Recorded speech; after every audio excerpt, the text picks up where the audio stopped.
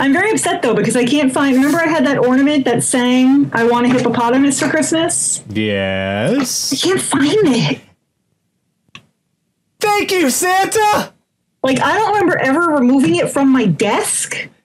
But it's not Thank here, which I mean, it could be here because my desk. I literally have like 30 bottles of nail polish he on my got desk. my and, letter.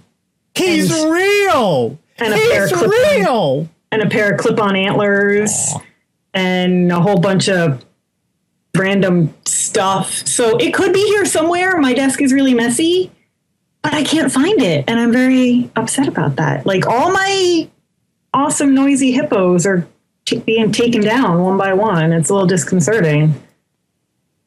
Santa is real. All I gotta say there, man. Santa, real. Really real. What? Don't look at me like that. Anyway, we have don't don't don't be don't be grumpy because guess what? The best thing ever happened this week. Yeah, yeah, yeah. the best thing to ever happen anywhere ever happened this week. Mm-hmm. I saw the mm-hmm. story and I I was the happiest I have ever been in well okay in like maybe a few days but it was great! Shall, shall we get started? Let me get the the muse musax where is it? Here we go. Each week catherine goes out and the worldwide interwebs finds all sorts of horrible stuff brings it back here for a little little bit we like to call what the fuck is wrong with you? And this week our very first story tara. As i said now you know me and you know you know there's something i love.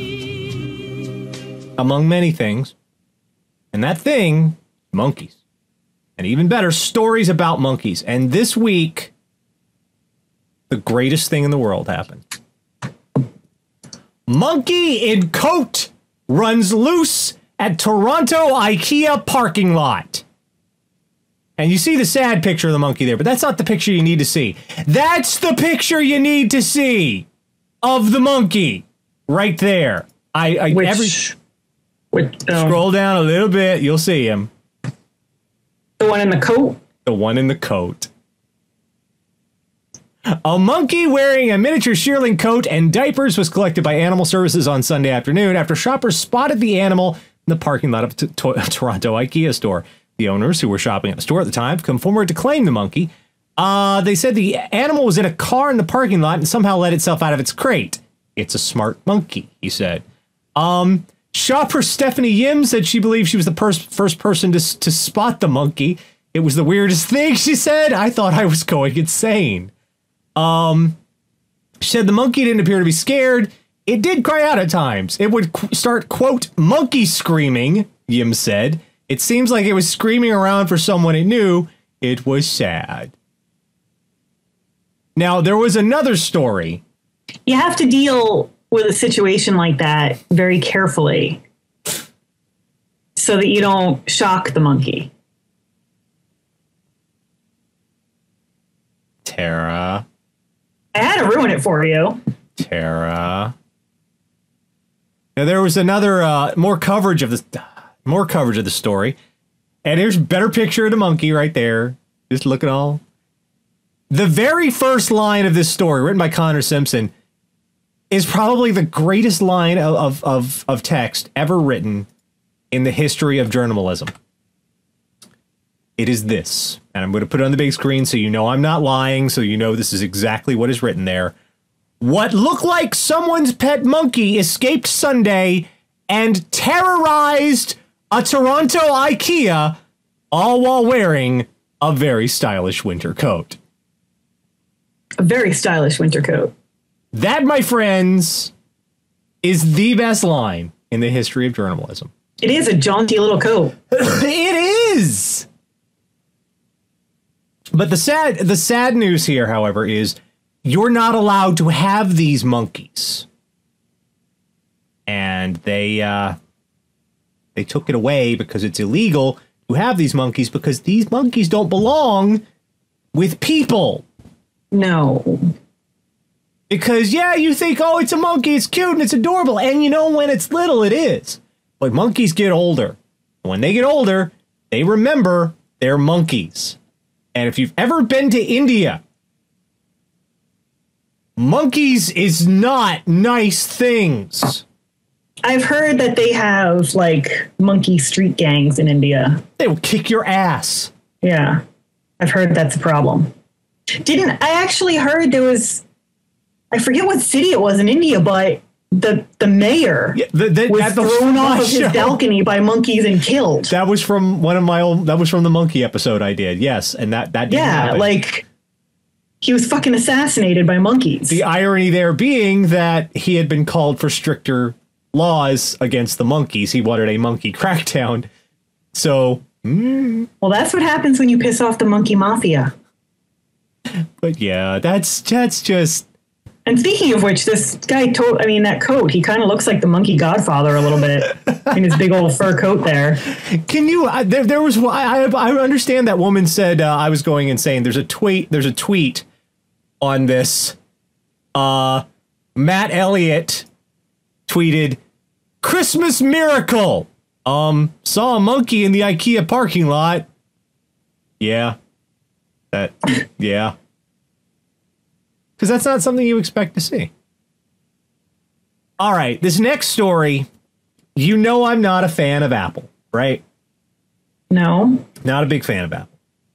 Okay. Well, what's Has gonna s- Apple wronged you in some way? Don't get me started. We'll be here all night. That's that's my show tomorrow. That's the show I do with Jason tomorrow. Oh, I okay. I was thinking like the fruit. No, not the fruit, sweetie. Not not the fruit. It's a really bad season at work. My is. brain. I'm like, do I know that you have a history with apples? Like, No, are you honey, no. Paris and some bitch rolled one into a room and you started the Trojan War? What? No, darling, not not the fruit. The, the, the Macs. company. We Right. call them Macs. no, the company is called Apple. Yes, but the computers are called Macs.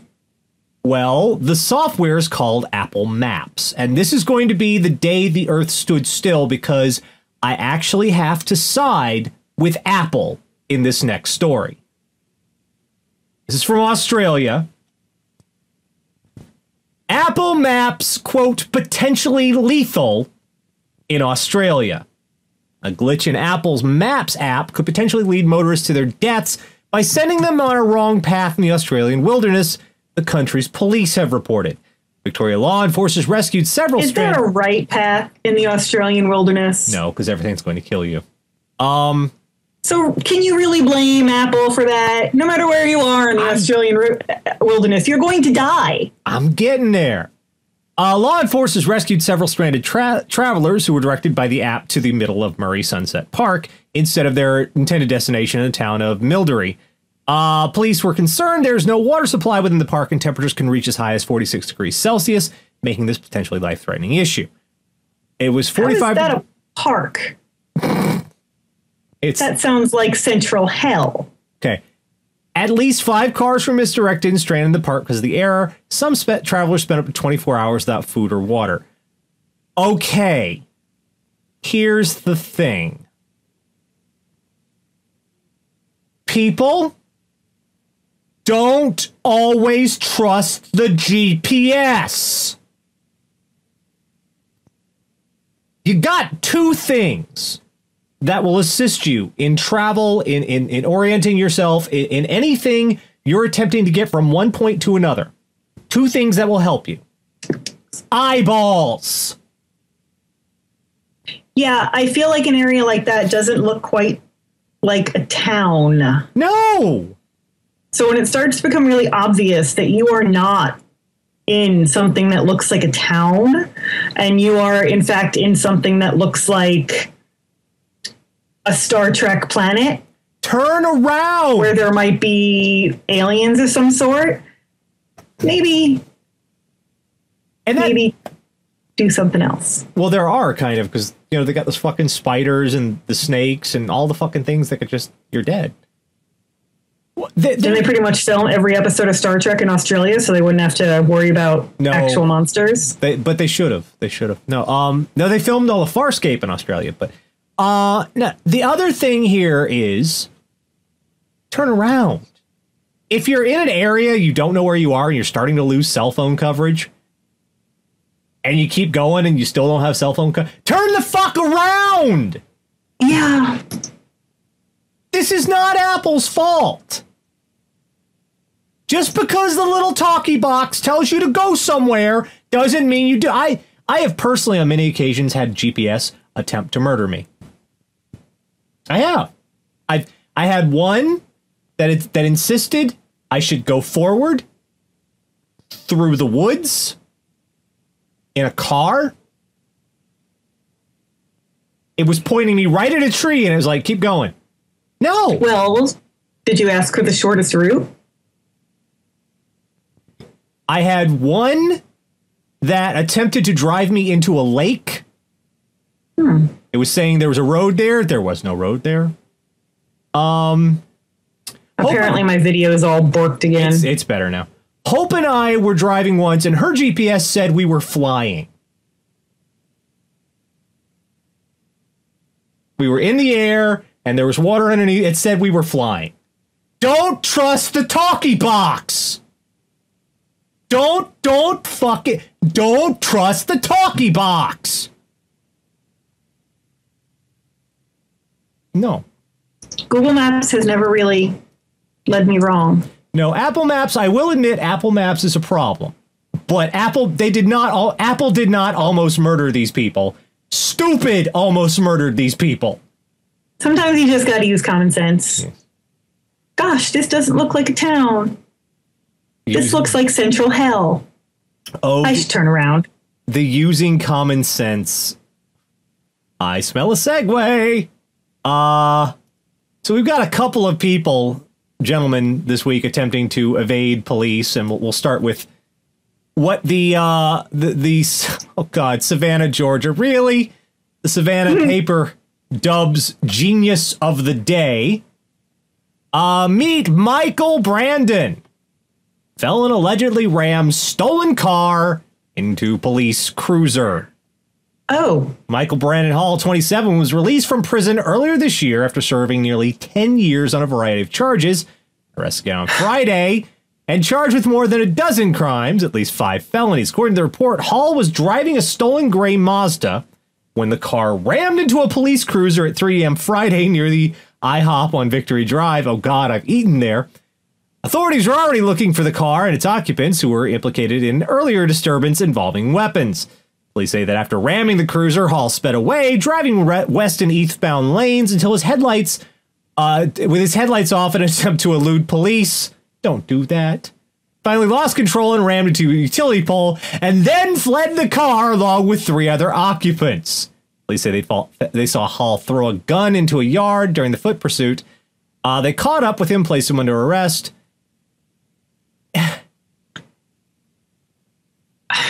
So you just you, just finished serving a dime, Uh huh. and, and you go back right back into committing all kinds of crimes because apparently you don't really care that you just finished serving a dime. Yeah. So you steal a car because you need transportation to commit felonies. And you apparently really, really liked prison Yep. and miss it because you ram that car into a fucking cop car, which is basically like putting yourself in the back seat already in the cuffs. That's like of all the fucking things you could hit. You had a smorgasbord of targets, but no, you go right for the one that's going to put your ass back in jail. Clearly, this person really, well, you know, I joke, like, and I say that they wanted to go back to prison, but there are people that have like serious anxiety after a long sentence upon being released back into society and come to find the routine and everything of prison comforting and wind up back in because they kind of can't handle Yeah, but what on the about the other three people with him in the car? Well, they weren't driving. they were probably like, motherfucker, what are you doing? Don't hit that cop car. I'm amazed he got out of that car alive, honestly. I'm gonna hit the cop car. What? Hit and then the I'm gonna drive against traffic with no headlights. Huh? Don't do that. the headlights. All right. What people don't seem to understand about headlights is yes, they're there to allow you to see in the dark, but they serve another purpose to let other people fucking see you. Because if they Did you did you guys ever in your area get that urban legend about how people would drive around with no headlights so that you'd flick your headlights at them and then they'd follow you home and kill you? That it was like a gang initiation and that you weren't supposed to flicker your lights to let people know that their headlights were off because then they would turn around and follow you home and murder you. It was a thing. Like God, how long ago was I in college? Let's not do the math there. Over a decade ago, we'll just put it that way. They actually put it in the movie Urban Legend. your your mind is just full of darkness. Why does this always happen? What do you mean? Just eh. all They used it in the movie Urban Legend with Rebecca Gayheart and Alicia Witt and and Joshua Jackson. Wow, I don't know that. Okay, have you you have you ever watched uh, Family Guy? Once or twice. Do you know the recurring bit on there, the greased up deaf guy? No. Okay, there there's a recurring bit where they are trying to chase a greased up deaf guy. It's like a thing, it's a joke, and they never catch him. And that's a show made by Seth MacFarlane. Now, this next thing is probably the most amazing confluence ever. Now, he's not deaf, but Naked man led officials on car chase through North Austin. Police arrested a man who led them on a car chase uh, while high on methamphetamines, naked and covered in a quote, greasy substance. And ladies and gentlemen, look at his last name. Allow me to introduce you to 41 year old Scott McFarland.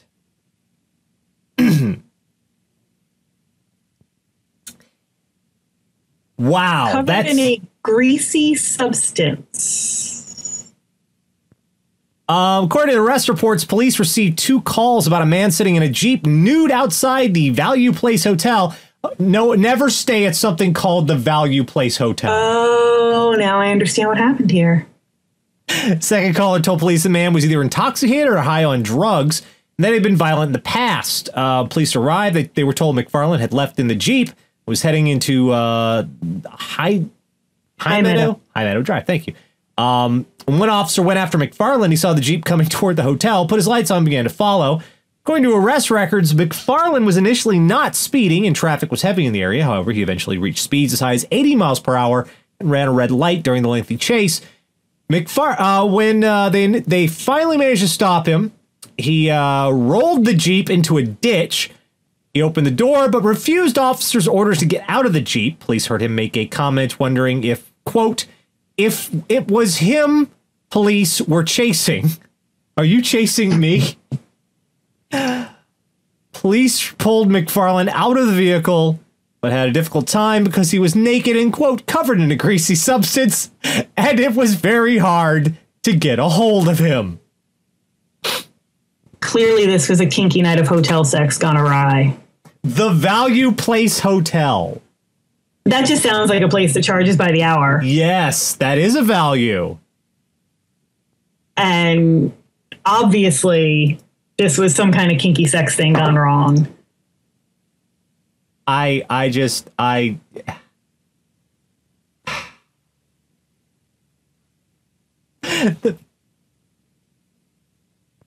I love the idea. Just picture in your mind, kids. The cops trying to grab hold of this naked, greased up meth fiend, and he's just slipping out of their hands. It's like, did you ever have one of those toys that it's just like a continuous tube of plastic with gel inside it?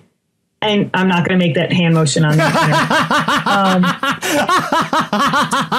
and you just continually squeeze it, and the gel causes it to be like this giant Mobius strip of it's a, it's the most useless toy in the world. I don't know why it exists, but it kind of yeah, it's like that. Well, that was this. I just all in my mind. I'm hearing Nobody make a gif of that. in my mind when I'm picturing this. I'm hearing um the Benny Hill theme because you, you it, it's got because trying to grab hold of the, the naked man who's screaming and running and are you after me? No. How does this become your life? I wonder. How did he not slide off the seat trying to drive? How did he keep his foot on the gas pedal? How did he control the wheel?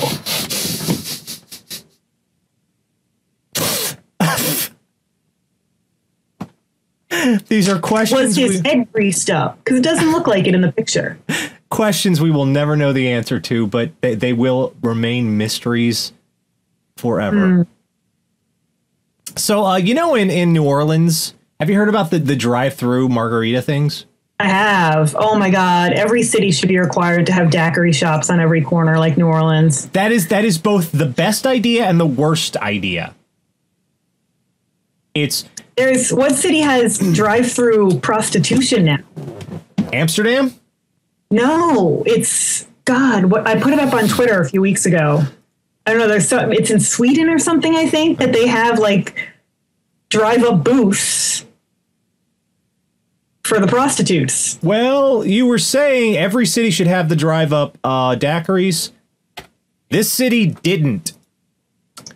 Man asks employee for a beer after crashing into liquor store. Police arrested arrested a Rapid City man after he asked an employee at the liquor store he had just crashed his minivan into.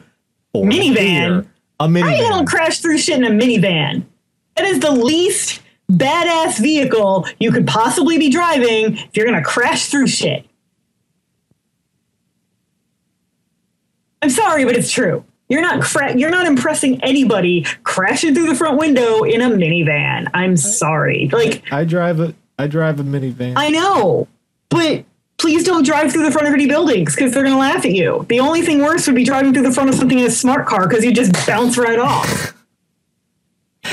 Around 8 p.m. Friday, Rapid City police officers tracked 55 year old Leslie Bush to his home using the license plate number the employee gave him and took him into custody. Uh, Bush made his initial court appearance Monday morning via closed circuit TV from the jail on charges of third offense felony driving under the influence, driving with a revoked license, and failing to report a wreck.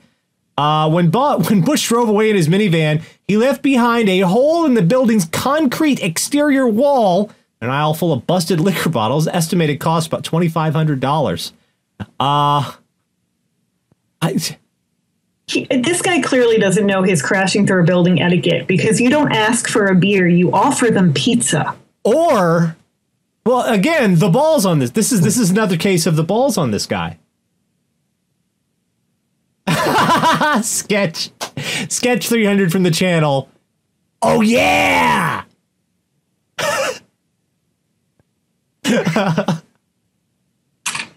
of course, we had to make that joke, but it's it's. I mean, to to crash in there and to go, hey, you got any Pabst Blue Ribbon? I'll take three. Here you go. What's not wrong? to give you. You're already driving pretty poorly. and then to drive away and expect everyone to be cool with it is the best part. Well, you're not going to serve me. I'm just going home. I'll go back out the way I came. If you're going to drive through somebody's wall, you offer them pizza. It's only right. Although he did drive away. What the? F- you got to say, if that's a minivan, that's a badass minivan. Because he went. Yeah, that's like the fucking Mystery Men mobile, he went through a concrete all wall. souped up by Tom Waits and shit. The Herc Herc. What what the fuck was it called? Someone in the channel will know. I don't remember. I haven't seen The that movie in a really long time. Non-lethal van. Someone knows. One of you geeks will know. Was it the Mystery Machine? They couldn't have done That that. was not the Mystery Machine. One of you, one of you guys is furiously looking on the internet. The jitney, Yeah, somebody the is Herkimer Googling. jitney, the Herkimer battle jitney. There you go. Oh God, we are so sad. Okay. Um, the last one this week. Heart was in the right place. Head was right up his ass. Man kidnaps child to teach father a lesson for leaving son on his own. Man has stolen a car with a two year old boy inside because he wanted to teach the toddler's father a lesson for leaving him unattended. Please, Oh my god, this is in Connecticut! Yes! Ha ha! Police manhunt was launched after 24-year-old Devin Mills of Bristol took out took the orange Cadillac with Louis Trinidad in the back seat from a store in Hartford. He had later emerged the boy's father, who returned from the store to find both car and child missing, had left his son in the car with the engine running. Um, Mills left the toddler with an acquaintance who took him to a police station, which he heard about the alert police had issued over the kidnapping. Mills then parked the car near where he had taken it and fled on foot, but was soon picked up by police. He told officers he had taken the car because he was, quote, upset with the boy's father for leaving the two year old alone. Child was reunited with his family after police confirmed his identity through photographs. Mills has now been charged with second degree kidnapping, second degree larceny, risk to a minor, and operating under suspension, which means, oh God, he didn't even have a license. This is one of those stories where congratulations, everybody's an asshole. everyone is no not his his relative Mills' relative the one who said he went to his relatives and, she, and he said here hold this kid. Why? Just hold him. Let me turn on the news. Oh shit. What have you done? Hello police? Yes my relative is a moron. That was the smart for everybody else. Okay. Where do, where do you want to start breaking this one down? Where where is there to start? how Don't about leave your kid in an unattended car with their engine running. We learned that Black Friday. You're an asshole. Don't you wouldn't do that to a dog. Don't do that to your kid. on a hot And day if you see in- that, if you see a kid in an unattended car with the engine running, a sane person, a smart person, stands by that car, asks the child where the child's parent is, maybe calls 911, something. You don't kidnap that fucking kid. Like, you're not helping that kid. You're giving that kid a traumatizing experience for the rest of his life. You are fucking up that kid forever. I have. How is this helping? This is not helping. It's- Oh, D.A. Scott Jr., I'm going to steal money to teach people not to have so much money. Yes. Same principle. Yes. I, I Well, I mean, that was Robin Hood. Music Lover 9293. Someone sleeping on the couch tonight. Oh, fuck yes. Someone's sleeping in jail, actually. One sleeping in jail. a felony. He's one sleeping in jail, but dad, the two year old's dad, yeah, he's on the couch. He's on the fucking couch. I don't understand why people think it's okay to just leave a toddler unattended in a car. Oh, it's just gonna be a minute. I'm gonna just one minute. Just one minute. Just fine. No, No. Because when they're you small, dependent people. They need constant attention. am I the only one who ever saw that old that old commercial? On a hot day, the inside of your car can fry a dog's brain. Am I the only one who ever saw that one? No, I saw that Saw one. that one? I It's remember not that hot in Connecticut right now, but still, some lunatic who thinks he's a good Samaritan could kidnap your child. Hold on, kid. I'm lunatic teaching. who doesn't think he's a good Samaritan could kidnap your child, and that'd be worse. Hold on, kid. I'm teaching your dad a lesson. What do you eat? You're two? What, pizza? Eh, we'll stop by Pizza Hut. Congratulations, everybody's an asshole. Everyone is an asshole. Two word, oh, roller cone. Oh, God. Yes. Two words. Raising Arizona. I love that movie. Coen Brothers. Love that. Just gonna my hippo now. So what have we learned this week? Um well, obviously we've learned two things at once. Don't leave your child in a vehicle unattended with the keys inside and don't help. Don't don't help like that. That's not helping. That's the opposite of cuz Yeah, Don't here- leave your monkey unattended in the car either, apparently. Don't leave the monkey unattended because the, the, the fucking monkey, poor monkey. I feel sorry for the monkey. Although anyone who saw the monkey that day, it was probably one of the best days at IKEA ever. See, because I have in my head because of, of my You know, IKEA is such a weird place. I think I think if I encountered that, the first thing that would occur to me was that IKEA had started employing monkeys to stock the floor or something. I would love to, I would love to see the monkey trying to put together one of those fucking bookcases or something. IKEA is such a surreal little place that I think I would honestly be like, wow, they're just not even using people anymore. They have monkeys stocking the floor. Damn. Um, we we've I, he had a little coat. It was great. Best day at IKEA ever.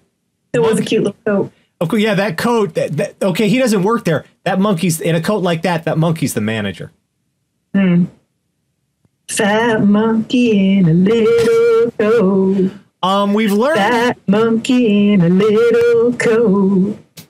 we've learned that just because you have a GPS doesn't mean you shut off your fucking brain.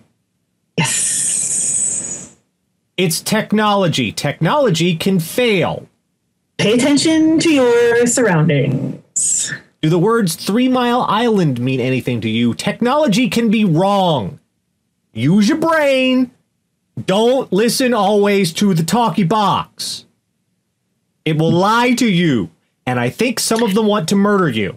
Also, because the machines are going to rise really soon and they want to wipe us out and use us as batteries like in the Matrix. So don't trust them. Um, we've learned some people may be better off in jail. Or just really bad at crime. Well, we already knew some people are really bad at crime. Yeah. Holy shit. Yeah. Um, we've learned that if you are going to attempt to flee the the, the police, being naked and covered in grease will actually help your chances because they have a hard time grabbing you. Who knew? Yeah, but they caught him. They did, but it had he been a little less hyped up on meth, he might have got away. A little more sober, a little more grease. He might have made he might have made that. You should test that theory and let me know how it goes next week. No. No. Grease up the gimp suit, No. go out and commit a misdemeanor. And finally, we learned that um, a minivan can go through a concrete wall. But nobody will respect you. But no one will respect. and nobody will give you beer. Look, I drive a 2002 Buick, man. I drive a Grammy Mobile. I'm not judging.